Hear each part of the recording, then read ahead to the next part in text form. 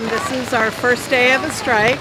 We have been in negotiations for a hot minute, but without a contract for over two years. We're at Venice High School. Teachers are on strike. Uh, they're not being taken seriously as to a healthy and educational um, environment. They know best. We believe that we have to take a stand. You know, none of us really want to be on strike, but we believe that this is to help save public education.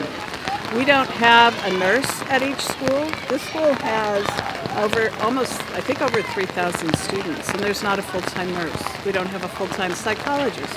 And when we talk about smaller class size and getting more resources, we're included too. You know, the National Association of School Psychologists says there should be one psychologist for every five to 750 students. Here at Venice, we have over 2,000 students, I'm the school psychologist and the district only allots me here four days a week. And right now we're pinching every penny and we're ultimately not. A lot of these students experience a lot of trauma in their community and in their lives and we need to support these students.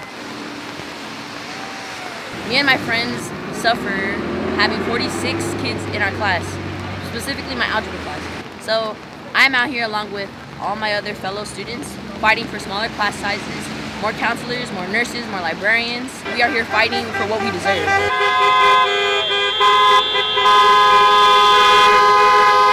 I personally don't like big class sizes.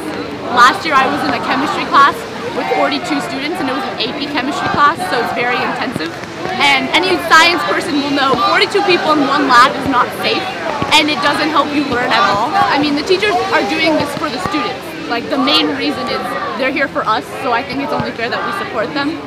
One, two, three. Union strong! Another one!